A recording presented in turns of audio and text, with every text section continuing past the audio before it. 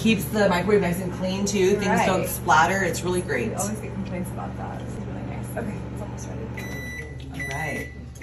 All right, I heard it just like clicks to the top. Yes. Whoa, it's awesome. that's It- really It's so great. But also with mine, what I do, it also you can use it like this, and so you don't burn your hands when you take it out. Wow. See? And is it heavy?